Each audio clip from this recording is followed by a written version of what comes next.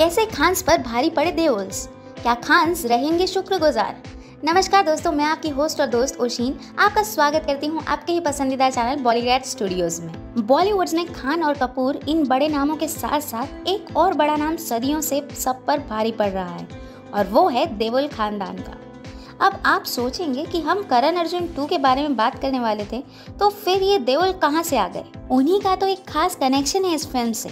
हमारा मतलब है कि खास कनेक्शन हो पाता, पर होते होते रह गया। करण अर्जुन एक आइकॉनिक फ़िल्म कहलाई जाती है, और डायरेक्टर राकेश रोशन के डायरेक्शन के अंडर बनी इस फ़िल्म की वजह से शाहरुख और सलमान के नाम का वज़न भी बढ़ गया।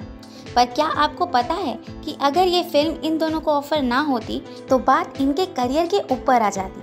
खास करके शाहरुख के करियर पर। जानना चाहेंगे? ये फ़िल्म पहले सनी देवल और बॉबी देवल को ऑफ़र हुई थी। यानी कि रियल लाइफ ब्रदर्स पर्दे पर भी भाईचारा निभाते। पर ऐसा नहीं हुआ। क्यों? क्या सलमान ने झगड़ा किया?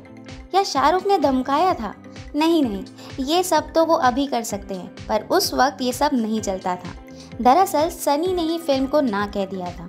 क्योंकि वो चाहते थे कि बॉबी उनकी फ़िल्म बरसात पर फोकस करें। और एक टाइम एक फ़िल्म ही करें, जो उनके करियर की दूसरी फ़िल्म थी। हालाँकि उनका डिसीज़न सही था, क्योंकि बरसात ने काफ़ी अच्छी बरसात की थी।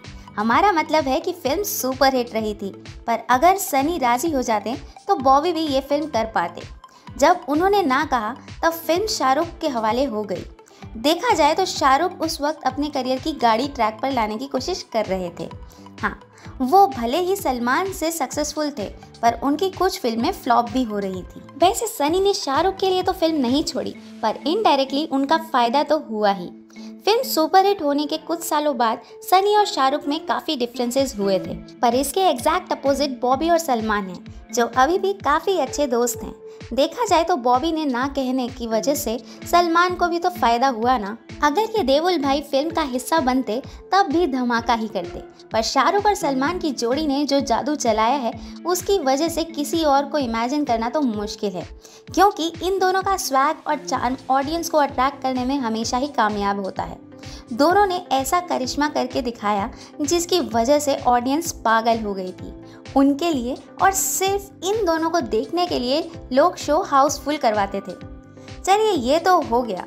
पर इसका मतलब ये नहीं कि दोनों सनी की मेहरबानी भूल जाएँ। शुक्रगुजार तो रहना ही चाहिए ना। इसलिए आज भी सलमान, बॉबी के करियर को संवारने के लिए कोई ना कोई कोशिश करते ही रहते हैं।